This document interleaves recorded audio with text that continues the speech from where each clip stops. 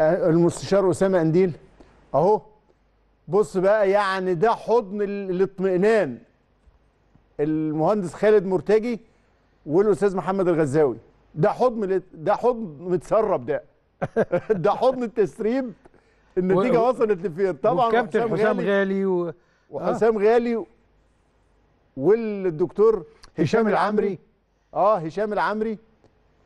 مع الأستاذ خالد مرتجي. إيه الاحضان العالية قوي لخالد مرتجي تنم عن حاجة؟ يمكن المنافسة اللي كانت موجودة في أمانة الصندوق الناس اطمنت على المهندس خالد مرتجي.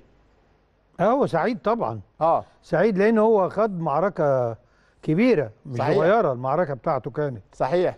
وبنت- مي عاطف بقى مي عاطف برضو واحدة من الوجوه اللي أنت أنت أشرت النقطه